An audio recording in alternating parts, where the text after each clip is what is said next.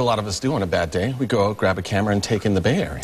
Yep. Yeah, and Bill, you really didn't have to go too far, did you, to find some wildlife? I, I, I thought I was going to have to go far, maybe off to one of those great parks, but uh, this was almost right across the street, maybe a half a mile. Uh, and, and wait till you see the size of these gators we found whilst watching for birds. In the midst of this neighborhood named for the oft-seen osprey sits a store dedicated to all sorts of hometown birds. I've been watching birds for over 35 years now. And for the past five, Rich Crate of Rich's Backyard Birds has watched his business take flight with a variety of seeds and bird feeders and kites and all things dedicated to the fluttering of the nearly countless feathered animals that call this area home. We saw 71 species in about five hours this year.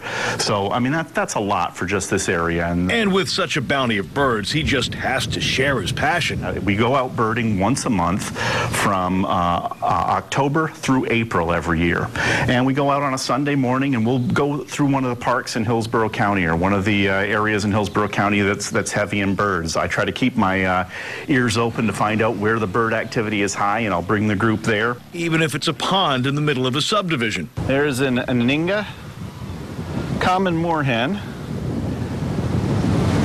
There's some boat-tailed grackles. There's a, um, a white ibis. And there's another moorhen, more white ibis. There's a big gator. And some double-crested cormorant.